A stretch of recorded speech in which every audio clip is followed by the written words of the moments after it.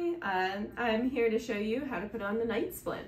First thing that you're gonna do is unstrap all of the straps and open up the night splint. This piece, uh, if your doctor tells you to take it out, you should take it out. Um, if they want you to have it in, then keep it in. Um, first thing you're gonna do is have your ankle at 90 degrees. When you put your splint on, uh, you're going to cross at the ankle first, then up at your calf, and then at your foot. Um, for this, it should be a little bit snug, but beyond that, as long as it's comfortable, that's all you need to do. Your foot at the end should be about 90 degrees at the ankle joint, and you don't have to do anything further. No more pushing, uh, pulling, or tugging than that.